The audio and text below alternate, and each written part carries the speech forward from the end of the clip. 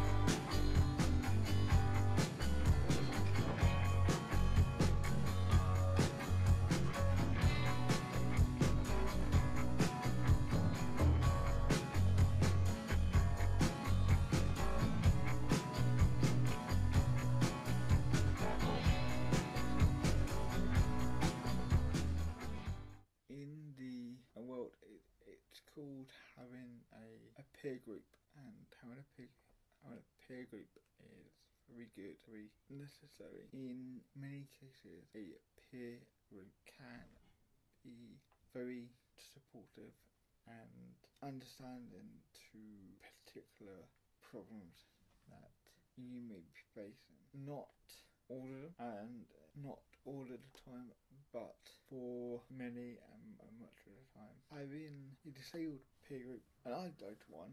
It's the golf section of um, SportsAble. And I believe when we, when we have we we have fun. We although I'm possibly the only one there with CP, and a lot of them there have MS. The way the disability affects the body work in a very similar way to each other. Although many other disabilities understand what it's like to have a disability, they don't quite understand how your disability affects you. A lot of my friends have walk, but they also use wheelchairs a lot and, and walking aids to get around. They don't. I don't. I don't, I don't know. Yeah, walk, walking aids to get around. I don't think appre- understand or, or appreciate very much the level of how my disability affects me.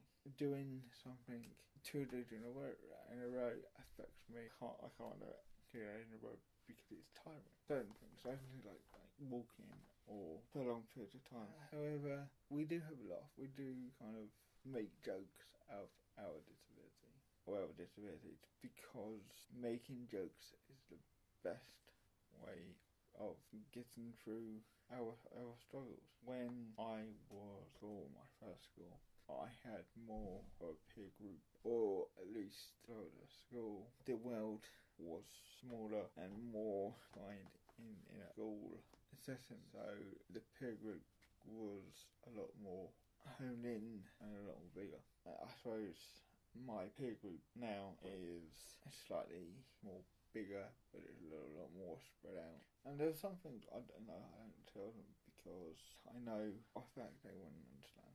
So, guys, once again, thank you so much for watching one of my videos, and I will see you very soon.